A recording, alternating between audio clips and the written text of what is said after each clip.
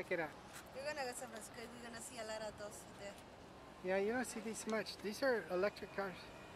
Mom, why are you standing in the street?